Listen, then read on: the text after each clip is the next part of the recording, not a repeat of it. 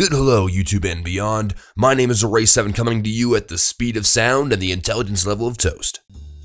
I think we can all agree on one point. The Vaccinator is easily the weakest of the mediguns. Not that we don't appreciate the effort Valve put into making this, of course, but quite frankly, even with the rebalancing heavy quotation marks they did during the Gun Mettle update, it was moderate garbage before, but it's way worse now. That's not to say it doesn't have its moments, but quite frankly, they're much too few and far between to choose the Vaccinator when literally every other medigun would do the job and possibly better.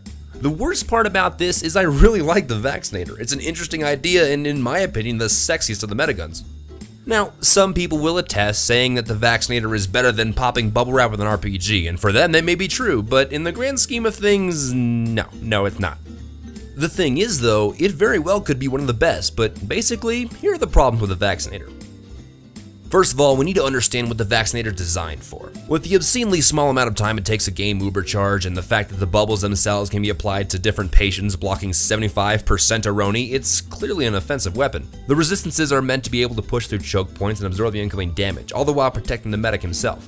So the idea itself is fine. In fact, it seems to be something that the medics need. However, comma, the execution in the form of this wonderful little piece of trump is abysmal at best. Now it sounds great on paper, but folding that into an airplane and sticking it in the game is never gonna fly. Not for nothing though, the biggest problem with the medigun really isn't the gun itself, it's us.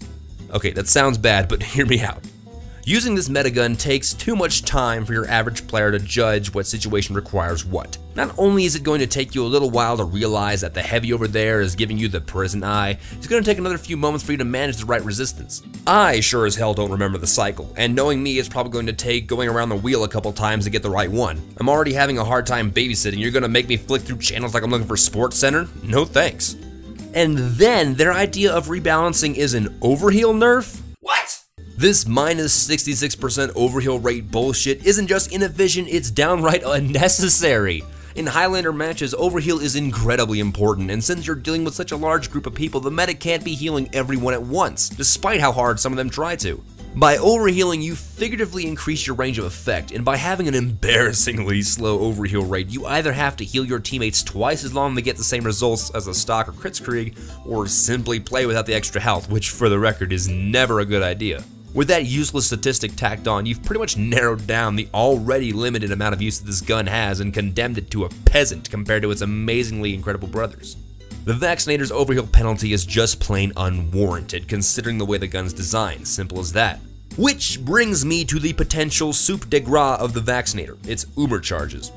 First off, the four smaller charges are a godsend. Getting at least something you can use and being able to use it quickly is this medigun's saving grace, if it can so be called so, called that so. However, the charges themselves are also part of the problem. It blocks crits plus 75% of matched incoming damage, and that's all well and good, but even so, they don't quite have the same game-shifting power even used correctly as the other mediguns. And not only that, but for any competent team where focus fire is an actual thing, you might as well be healing him with a roll of duct tape. And sure, you can activate all the resistances on one person at once, but when you spend god knows how long building a charge only for it to last 2.5 seconds, and not only that, but you're also entirely vulnerable to melee attacks which just so happen to have an entire class devoted to them, you're plain out of luck, just like Steve Buscemi in a Magic Mike lookalike contest. Basically, it's a lot of work for a little itty bitty payoff. So here's the bottom line. The Vaccinator is easily the least used mediguns out there, there's no denying that. The uber charges are a tad weak, it takes a supercomputer to use, and overhealing with it is quite dead to us. In my humble opinion, in order to make it viable, Valve would not only have to drop the overheal penalty like an ugly baby, but modify it so the gun is worth building uber with. Because right now, those little bubbles, as novel of an idea as they are, fall pretty flat. In the end, I really want to love the Vaccinator, I really do. It has the potential to be a great mix-up in gameplay, but at the moment, it's not quite there yet. So tell me now, what do you all think? I'm sure there are people out there who have unlocked its hidden secrets, and I'd love to hear what's on your mind.